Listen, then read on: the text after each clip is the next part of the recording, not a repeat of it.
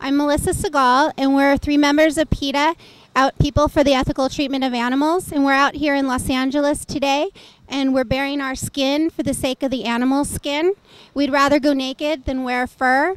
We're drawing attention to all the retailers out here that sell fur because so many animals every year suffer tragic deaths, are anally, anally electrocuted, gassed or necks broken, skinned alive just for the sake of fashion. And in this day and age, there's no excuse for fur when there's so many alternatives. And so many designers like Stella McCartney and Ralph Lauren, Ralph Lauren have refused to sell fur. So we're asking Oscar de la Renta, Marc Jacobs, everybody out here today to stop selling fur.